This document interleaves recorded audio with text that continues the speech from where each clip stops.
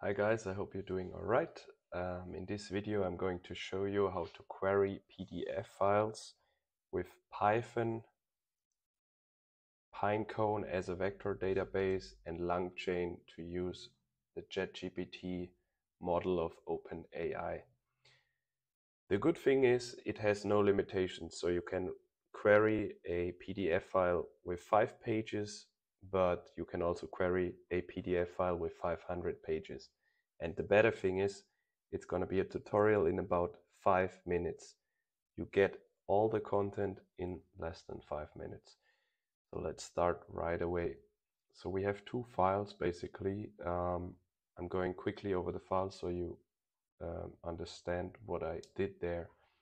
First of all, you need to set the OpenAI API key.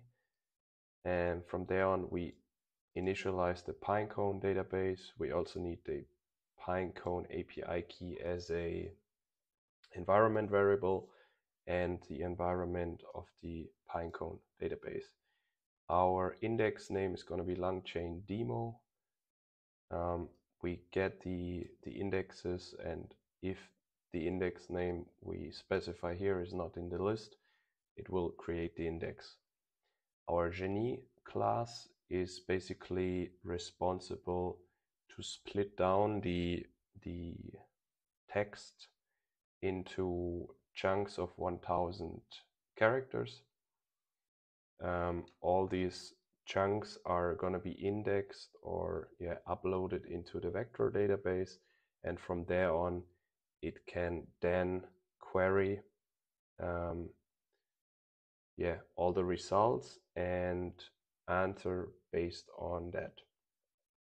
That means um, all of our text gets embedded and then uploaded to the vector database and our query is also embedded and the nearest neighbor of this query is then used as an input to the ChatGPT and from there on it has like a, a context and can answer our question it won't be possible if you if you put uh, 50 pages with let's say 20,000 words into the ChatGPT neither the API of ChatGPT because it's limited to 8,000 characters approximately. The PDF loader is uh, just a little script to transcribe PDF files into text files as we use text files um, to chunk down exactly here. Um, yeah, this method is just here to to um, to upload the the embeddings to Pinecone and the ask method is just a LangChain handler. So let's start. Our question is going to be what happens if power plug is broken? If the power plug is broken, can I fix it myself? I have no experience with the Thermomix. We use the following PDF. Uh, it's just a manual of the Thermomix. This little device. It has 43 pages and yeah if we if we have to go through uh, it takes a while.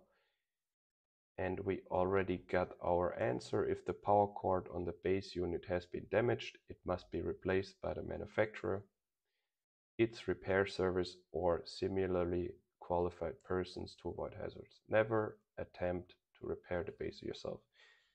Um, to be precise now you can do that with every PDF file you have. And that's the awesome use case of this tutorial. I hope you guys enjoyed the video and I would be very happy if you liked the video and also subscribe to my channel. See you next time.